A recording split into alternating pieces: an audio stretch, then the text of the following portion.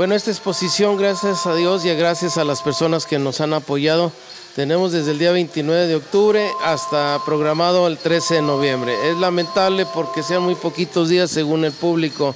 Desafortunadamente, pues nada más nos dieron esos días. A través de su medio queremos ser, eh, nuevamente hacer la invitación para que los dos días que nos quedan, pues lo puedan aprovechar. El horario es normalmente de las 10 de la mañana y cerramos a las 6 de la tarde. El próximo domingo será la clausura, los hacemos una invitación porque queremos despedirnos con las maestras que nos apoyan, el grupo de las joyas del ferrocarril y los compañeros que estén aquí presentes.